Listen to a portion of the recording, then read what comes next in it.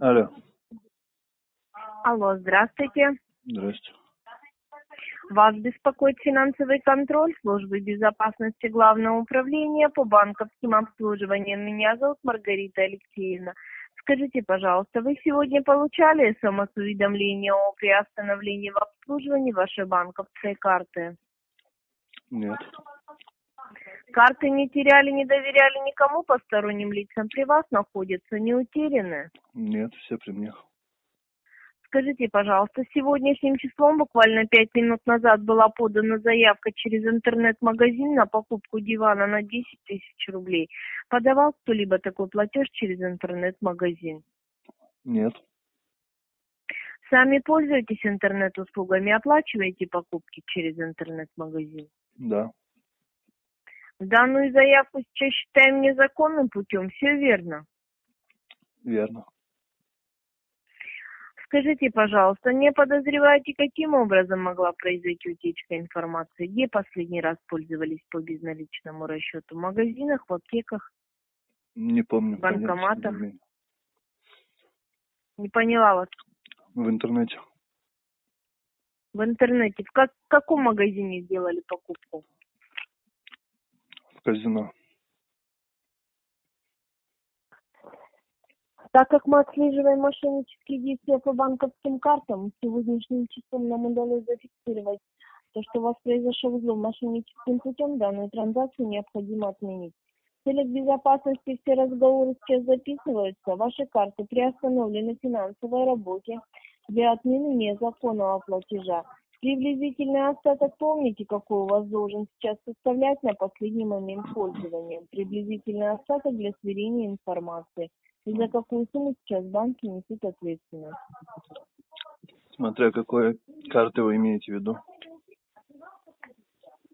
Сбербанк России, банк открытия. А. 45 тысяч. Сейчас фиксируем по какой карте 45 тысяч рублей? Что? По какой карте фиксируем 45 тысяч рублей? Ну вы же сами на этот вопрос ответили до этого. Сбербанк? Не все верно. Также еще в пользовании у вас имеются карты. Да. Также остаток какой должен быть? Ну, сколько там? 80. Около 80 тысяч рублей. Все верно фиксируем? Да, верно. Карта от какого банка? Подождите, какое это имеет отношение? Отношение это имеет очень большое, так как мы фиксируем каждую карту от какого банка. Не, ладно, для чего фиксировать ее? Если... Это для того, чтобы мы посмотрели по программе, было ли у вас уже списание, либо не было, так как ваши карты приостановлены в финансовой работе для отмены незаконного платежа. М, Так мне, наверное, с другого банка позвонят, скажут об этом, правильно? Послушайте, пожалуйста, мы не являемся банком, мы являемся службой безопасности по отслеживанию мошеннических действий по А, банковским картам. Понял, понял. Какую карту фиксируем? 80 тысяч рублей. Открытие. Все верно сейчас называете. Еще карты имеются в пользовании? Да, имеется. Кредитный. Также остаток сейчас давайте зафиксируем. Давайте. Остальным картам остаток, пожалуйста, назовите. ВТБ. Остаток сейчас какой фиксируем по карте 200 ВТБ? тысяч. Сейчас смотрим по программе, списаний у вас никаких не произошло.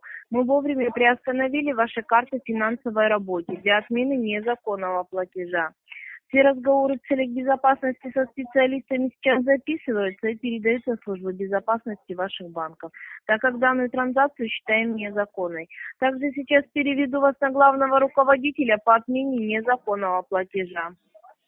Минуту, пожалуйста, ожидайте. Хорошо.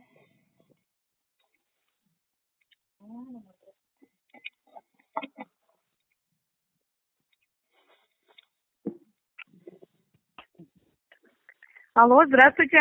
Здравствуйте. Служба безопасности вас беспокоит. Финансовый контроль банка. Меня зовут Алена Дмитриевна. Мой идентификационный номер 4273. Я руководитель по финансовому контролю коммерческих банков. Сейчас с вами младший специалист связывался в полном объеме, предоставил информацию, которая возникла по вашей банковской карте.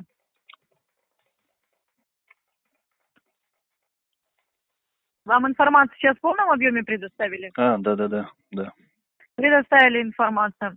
Сейчас давайте, пожалуйста, уточним. СМС-уведомление поступает активно от банка? От банка Да. открытия и от ВТБ? Поступает активно. да. Данным транзакциям сегодня не имеете никаких отношений, поэтому транзакции подлежат немедленной отмене, так как оформлены незаконным и мошенническим путем. Я вас правильно поняла? Да, верно.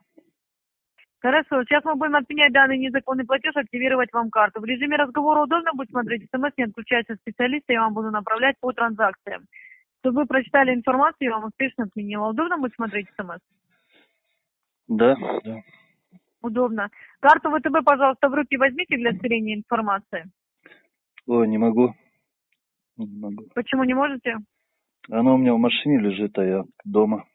Вот так вот. Вы дай- а банк открытия при вас карта? Нет, тоже там же, у меня все документы в Тоже в машине, машине. в сумочке. Доберитесь, пожалуйста, до банковских карт. Ну, зачем это, девушка?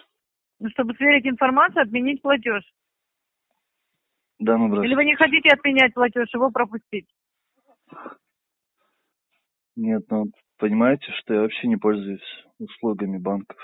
У меня вообще ни одной карточки нет.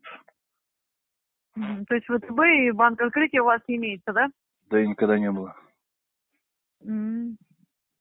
А Сбербанк у вас имеется? Вот вы предоставили информацию по картам, а сказали, что карт в итоге у вас не имеется. По какой причине? Ну, я